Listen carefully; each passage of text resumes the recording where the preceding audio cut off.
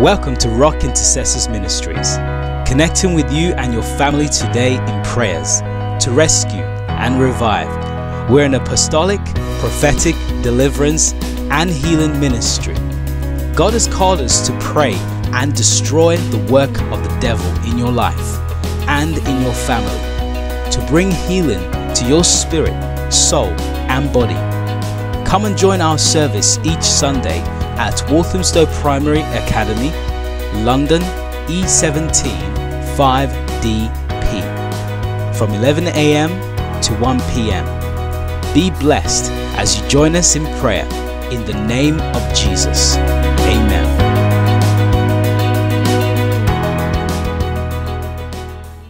It's a good God. It's a great day. It's anointing day. Devil is already shaking. Amen. Devil is defeated already. Jesus is alive. Amen. Let us pray. Father, in the name of Jesus. Father, I want to thank you for today. This a great day. It's a wonderful day. It's a faithful day. You've made it, given it to us that we should rejoice and be glad indeed. Thank you, Lord Jesus, because the Bible says we shall decree a thing and it must surely come to pass. We decree, oh God, that today is a great special anointing day. And Father, I pray thee, Lord Jesus, that Father, as you will anoint us today, the anointing of God will break every yoke and will remove every hand of the darkness in our life. So, Father, the Bible says, the Son of Man set you free, be free in thee.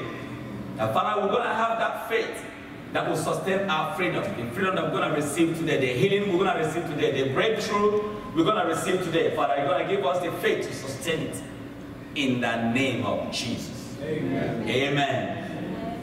Praise God. Wow. It's a good day. Yes. It's a good day. I can see the it's a bright day, it's a good at least it's not raining. Amen. So everyone of you is welcome today in Jesus' name. It's a great day. Today we're gonna continue and to summarize uh, the anointing Sunday, and we're gonna finish it up with anointing every one of us today in the name of the Lord. And this anointing is gonna go deep, deep, deep down. So I want you to listen to the word of God, because the word of God is what generates faith. Amen. The word of God is what makes the anointing to work. Our God is a good God. Amen. Today I want us to first of all see the importance of anointing. We're going to divide our message today into two. I'm going to be quick. I'll divide the message today into two. One, I'm going to preach on the importance of anointing. Two, I'm going to speak on the anointing of faith. The importance of anointing so that we know how important anointing is to us and what anointing will help us to achieve and what anointing will help us to overcome. Our God is a very good God. Amen. So if we go to Psalm chapter 16 from verse 8, and the word of God says in Psalm 16 verse 8, it says, I have set the Lord always before me, because he is at my right hand. I shall not be moved. It says, I have set the Lord always before me. He is at my right hand. I shall not be moved. That's number one. Number two, therefore my heart is glad, and my glory rejoiceth. My flesh also shall rest in hope. Say, therefore my heart is glad, and my glory rejoiceth. My flesh also shall rest in hope. And verse 10, therefore my heart, for thou wilt not leave my soul in hell, neither wilt thou suffer thy Holy One to see corruption. You will not leave my soul in hell, and I will not see corruption. Amen. Verse 11. Thou wilt show me the path of life. In thy presence is the fullness of joy. At the right hand there are pleasures evermore. Pleasures evermore. Praise God. So the importance of anointing is loaded. Most of it loaded in uh, uh, Psalm chapter 16. And it says, number one thing is when you receive the anointing, you're gonna be strong.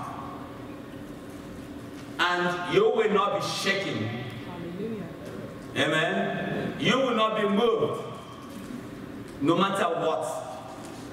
Because you've got anointing in you. Number two, when you receive the anointing, your heart will be glad. You receive gladness. You say, The Lord loved righteousness and hated iniquity. Therefore, the Lord our God have anointed thee with the oil of gladness above thy fellow. So anointing brings gladness to us. Anointing also brings the glory of God, the glory of rejoicing. And when we mean the glory, we mean the presence of God. The glory of God. Anointing brings down the presence of God. And also our flesh will rest in hope. In hope of what? In hope of the resurrection. Amen. This is the work of anointing. It's very, very important that we understand that anointing brings hope, the hope of the resurrection. Anointing brings rest to us. The Bible says, rest in the Lord. The only thing that will make you to rest in the Lord is the power of anointing. It's when you receive the anointing. You can see many people today, many Christians today, they are not resting there. They are running everywhere. They don't have peace in their life. Even if they have been a very good Christians. But the word of God says to us today that anointing will give us rest and hope. Will make us strong that will be not moved. Anointing will abound in us and give us life here on earth and eternal life. Amen. Here on earth, we have a good life. And also, when we sleep, we have eternal life. And this is what the power of anointing do. And the Bible says that anointing will not let your bones, your body to see corruption. You will not see corruption. Amen. And that's why Jesus never used the word die. Jesus used the word sleep. You see, when um, Zacchaeus was, um, uh, Nicodemus, no, Zacchaeus was dead, and then he says, my friend is sleeping. Amen. He sleep, not dead. Because when you receive the anointing, you will not die. You will be alive. We're going to come to that. You will know why. That when you receive anointing, you are alive. Every time, wherever you are, even when you sleep with the Lord, you are alive. To start with, you will not die because you have got eternal life bestowed for you. Amen. Okay. So we can understand that there is a very, very good benefit of anointing. It makes us strong, it makes us glad, it makes us rejoicing, it gives us hope, it gives rest to our flesh. He will never let us to see corruption. Anointing is there to lift us up all the time.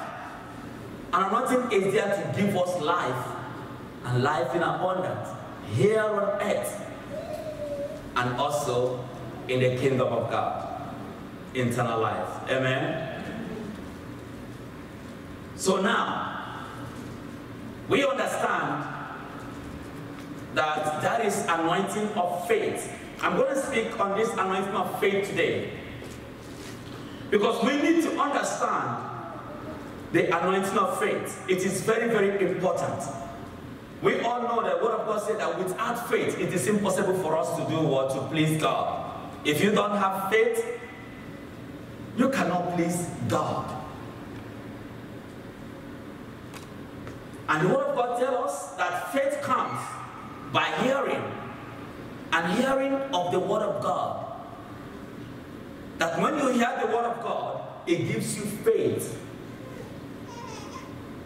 And the book of Hebrews, chapter 4, verse 12, is telling us for the word of God is sharper than two-edged sword. That the word of God is sharper than two-edged sword. So when you receive the word of God, the word of God is very sharp and sharper than two-edged sword. And when the word of God comes into you, it goes in. The word of God says it penetrates through the flesh to the bone. It did not stop in the bone, it goes to the marrow. And relax there. Amen. When you hear the word of God as you are hearing it now, you receive the faith. And when the faith comes into you through the word of God, the faith penetrates right deep down. The faith doesn't stay on our flesh, but faith goes right deep down and stays in our bone and stays in our in, in our marrows. So that even if our flesh goes back to dust the faith our faith will still be there. We're going to still be very very active even if when we have passed away. Amen. So faith penetrates right deep down into our bones. And it is the faith that strengthens our bones and makes us to be strong.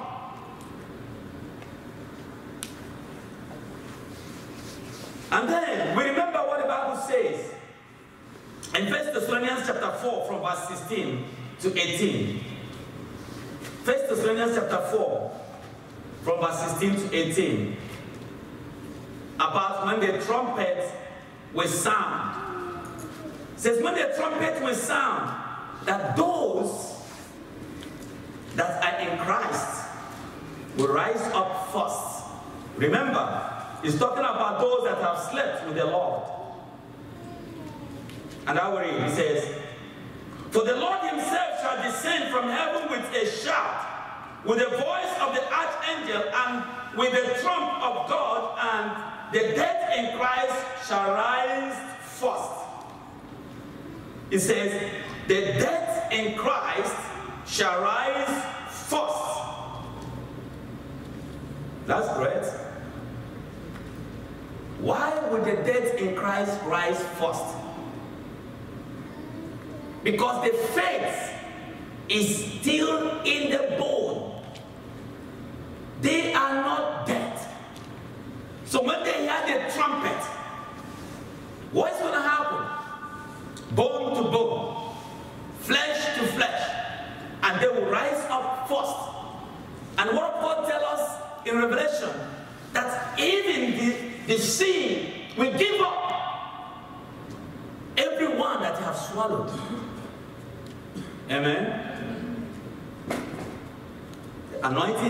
Penetrating inside a bone. And then we know one man of God that is called Elisha. In 2 Kings chapter 13, 20 to 20, 20 to 21. Elisha, the man of God. And the Bible says that Elisha died and he was buried. And when he was buried, there comes a problem, a war in Israel. And the people are burying the dead. And as they are carrying the dead man to go and bury him, they come across the grave of Elisha. And as they are walking past the grave of Elisha, behold, the enemy come to attack them. And what happened? They take the dead man's body, throw it into the, into the grave of Elisha. And what happened to the dead man? He woke up. Amen. This is Elisha, he is dead for a long time. But his bone is still active because the faith is right deep down in the bone. The flesh is gone, the beauty is gone, but the bone of Elisha is still working because of faith that has penetrated right deep down into the bone and into the marrow and stay. So Elisha performed miracle. And what happened again? The Bible tells when Jesus Christ died in Matthew chapter 27 from verse 52, the word of God says, when Jesus Christ was crucified, when he was crucified, and at the sixth hour, Jesus Christ called out and said, Eli, Eli, lama samatani, Eli, Eli, lama samatani, which means, my Lord, my Lord, why hast thou forsaken me? And on the ninth hour, something happened. Jesus cried out again. Jesus cried out again and gave up the ghost and sleep. And the Bible said the curtain of covering was torn into two. And what happened? The dead, the saints that are dead, they all rise up from the grave. Imagine if you go to graveyard. Praise God and you see the saints coming up praising God. Hallelujah. You can imagine what's going to happen. This is exactly what happened. Because the, the faith is in the bone. So those saints that have died hundreds of years ago, the word of God said they all jump out, come out of the grave. They come out of the grave and went out and ministered. Because faith never died faith is always there. And the anointing carried that faith right deep down into the bone. And what about the valley? The valley of the dry bone. Amen? The valley of the dry bone in Ezekiel chapter 37 from verse 1 to 10. And the Lord said to Ezekiel, Son of man, can these bones, can they make any move? Can they be alive again? And the word of God said, Ezekiel said, Lord, thou knowest, this one is more than me.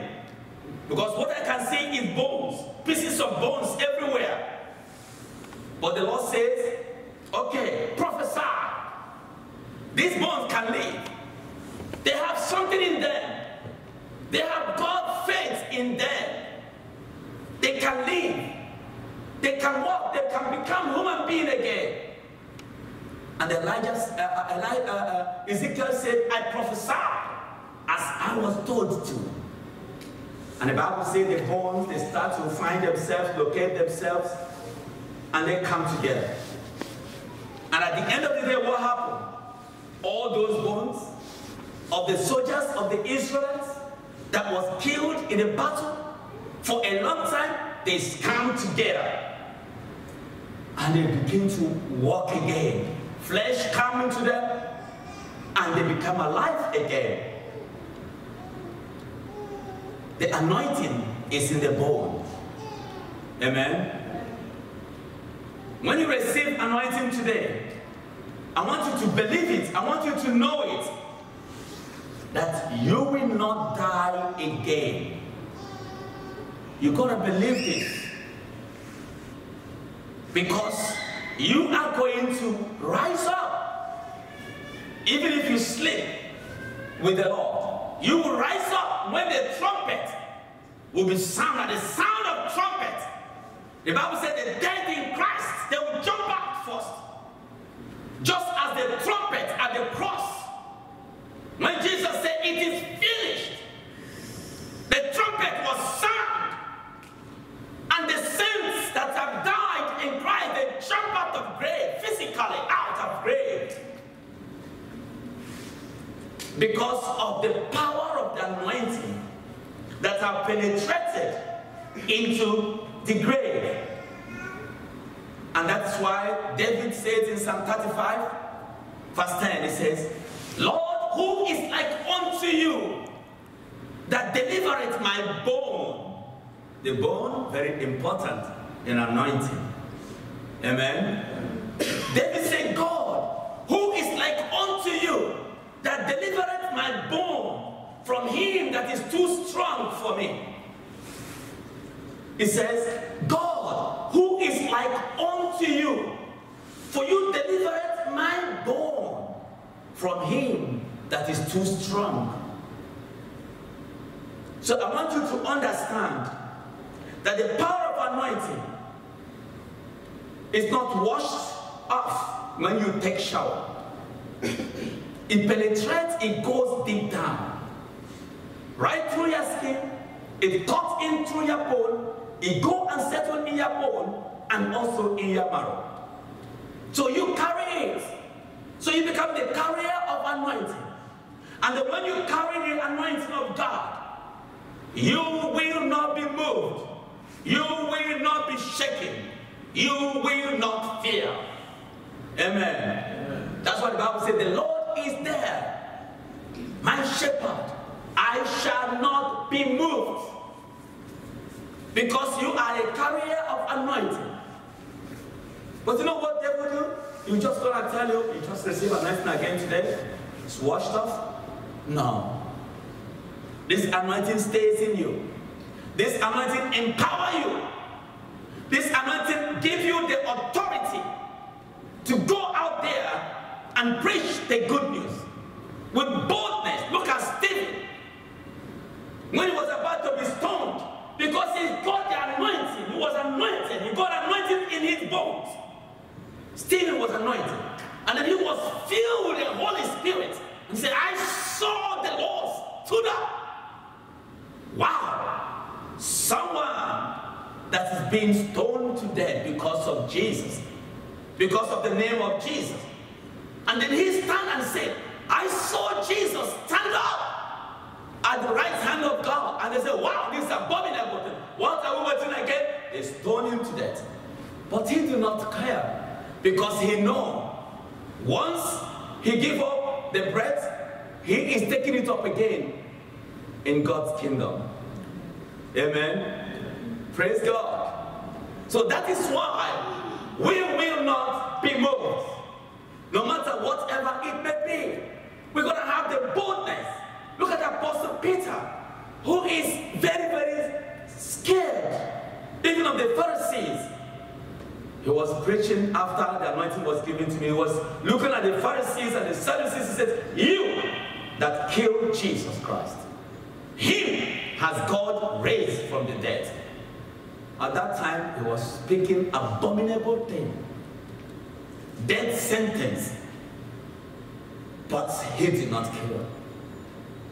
But he was not moved because he had got the power of anointing in his bone. Even though when he was put in prison, he was released.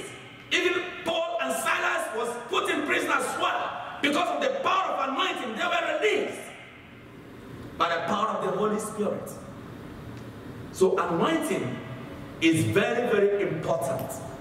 And anointing gives us the wings to fly. Anointing gives us the authority and the power. Anointing empower us to work for God. Anointing empower us to go and preach the good news without fearing. Because God said to his people, to his prophets, do not look at their faces. They may squeeze their face. They may not want to hear you. They may threaten to kill you as they threatened to kill Apostle Paul again and again and again and again. But he always stood and then preached the good news. God said to you, because you have got my anointing, you are the anointed one. You cannot be moved. You will not fear their faces. no matter how, how hard they put their faces, how much they disfigure their faces in order to make you to be scared, but you will not fear them.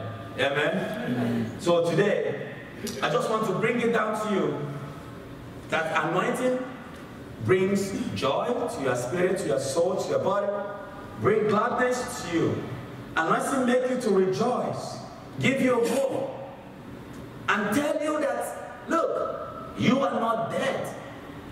Even though you sleep in this life, you will wake up again and take up your life in eternal life. Amen. That's what anointing do for you. And when the trumpet sound, you will be the first one to resurrect. You will be the first one to fly up, up to heaven. Hallelujah. I tell you this is true. The Lord take me in the spirit. And I saw myself, I saw myself uh, by, the, by the water. I was just standing and they had a trumpet. And look at these people that are dead for many years. They're all coming up from the, from the sea. All of them wearing all this rope. Coming up from the sea. And the Lord come and said to them, follow me. Amen. And they followed the Lord. What did he look like? What did he look like? Praise God. What did he look like? What did the Lord look like? I'm in the spirit. Sorry. So sorry. Amen. God bless you. Praise God. So our God is great and wonderful. And they wear all this robe and they come out from the sea and they were going up to heaven. Hallelujah. So God gave me an assurance that this is true and this will continue to happen when the trumpet will sound. Amen. Praise God. Are you ready? The word of God is yes and amen. You got to, you know, develop faith and believe it. Because if you don't believe it, it's not going to work for you. You got to believe the word of God. You got to believe the word of God so that the word of God will work for you. May God bless his word in our hearts today. In the name of Jesus. Amen. Hallelujah. Amen. Shall we stand up, please? You've been watching Rock Intercessors Ministries. We believe you and your family have received God's mercy, love, healing, and miracles. Our senior pastor, Apostle Peter Anuba, would love to stay in touch with you. Please contact us for one to one prophetic, deliverance, and healing sessions. Please support us in prayers and finance to reach billions of souls whom Jesus died for. Visit our website to see how you can help rockintercessors.com. You can also subscribe to our mailing list to be notified of upcoming events. See our details below and on screen. Visit our website, rockintercessors.com. Email us at info at rockintercessors.com. Call us on 07944 204 895. Are you outside of the UK? Text or call us for free using WhatsApp. Don't forget to subscribe to our YouTube channel. Now remain in God's goodness and mercy, and may God favor you and your family in Jesus' name. Amen.